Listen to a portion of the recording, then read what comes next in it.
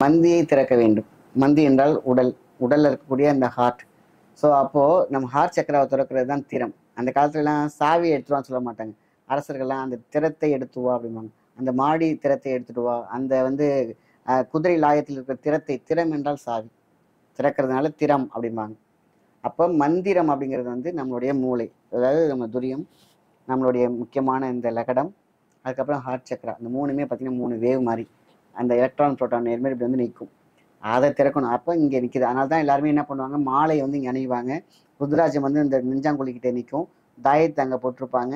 எல்லாமே இந்த நெஞ்சாங்கூட்டில் முடியும். இன்னொன்று இல்லைன்னா சோலார் பிளக்ஸில் முடியும். இல்லைன்னா கழுத்துக்கிட்ட போட்டிருப்பாங்க. ஒன்று ரெண்டு மூணு மூணில். இங்கே ஒன்று ருத்ராஜம் இங்கே இருக்கும். இல்லைன்னா நெஞ்சாங்குழியில் இருக்கும். இல்லைன்னா சோலார் பிளக்ஸில் நிற்கிற மாதிரி இருக்கும். அது மந்திரம். ருத்ர ருத்ராஜமாக இருக்கட்டும். இல்லைன்னா உங்களுக்கு அந்த ஆன்மீகம் சம்மந்தப்பட்ட எது போட்டாலும் சரி அந்த வளையம் அங்கே தான் இந்த நெஞ்சாங்கூடை திறக்கக்கூடிய சாவி. அப்போ அந்த திறம் அதான் மந்தி என்ன எல்லாம் சொல்லுவாங்க? குரங்கவன் குறிக்கும். அது கிடையாது.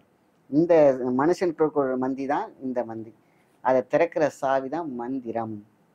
ஸோ அப்போது இதை க்ளீன் பண்ண தடைகள் சித்தி ஆகுதுன்னா அங்கே எங்கே தடை இருக்குது அங்கே பிளாக் இருக்குது அங்கே மாயா இருக்குது அங்கே மாயகனி இருக்குது அதை உடைக்கணும் வில்வம் தான். இந்த வில்வத்தை தான் திருப்பி அன்றைக்கி நான் கேப் போட மாதிரி சொன்னேன் இல்லையா?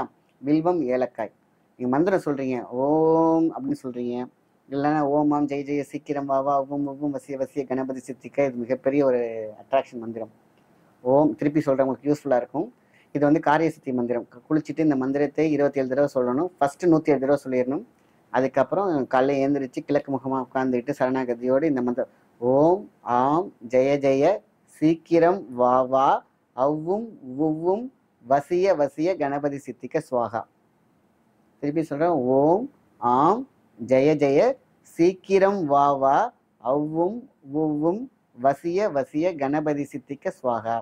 இதை வந்துட்டு ஃபஸ்ட்டு டைம் வந்து சித்தி ஆகிறதுக்கு. ஸோ அப்போ இப்படி ஒரு மந்திரம் சொல்லிட்டோம். ஸோ சித்தி ஆகலை. எனக்கு இது ஒர்க் அவுட் ஆகலை அப்படின்னு கேட்டிங்கன்னா மந்திரத்தை துறக்கும் நெஞ்சாங்கூட்லேருந்து சந்தனத்தை தடவிட்டு இருப்பாங்க இல்லையா? அதேமாதிரி வில்வத்தை அரைச்சி இந்த நெஞ்சு குழியில் அப்படியே வச்சிடணும். நீங்கள் கொஞ்ச நேரம் சேரில் உட்காந்து சாஞ்சிட்டா போதும். ஒரு half an hour one hour கழிச்சு இதுமாரி ஒரு அஞ்சு நாள் இல்லைன்னா ஒரு ஒம்பது நாள். பண்ணிங்க அப்படி கேட்டிங்கன்னா இது திறந்து கொள்ளும். மந்தியை திறக்கும் சாவி தான் நம்மளுடைய வில்வ இலை. ஸோ அதே அதே மாதிரி நம்ம இங்கே கொஞ்சம் வச்சுக்கலாம் உச்சந்தலையில் கொஞ்சம் வச்சுக்கலாம். ரெண்டுமே இதுதான் இந்த ரிசீவிங் பாயிண்ட் இங்கேயும் வைக்கலாம் நெஞ்சாங்குட்டிலையும் வைக்கலாம். ஸோ அந்த காலத்து அரசர்கள்லாம் பார்த்தீங்கன்னா கிரீடம் வச்சுருப்பாங்க. அதுக்கு உள்ளர ஒரு வில்வ குச்சி ஒன்று இருக்கும். இல்லைன்னா வில்வ இலை இருக்கும்.